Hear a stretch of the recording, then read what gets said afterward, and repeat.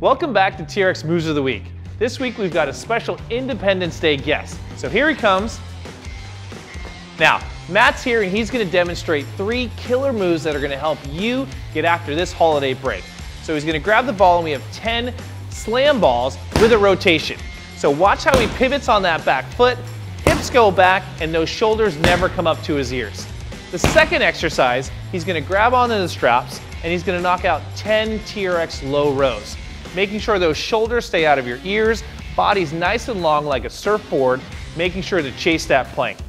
The final exercise, and this is for the Independence Day of it, we're gonna do some burpees. Just like some fireworks, 10 of them.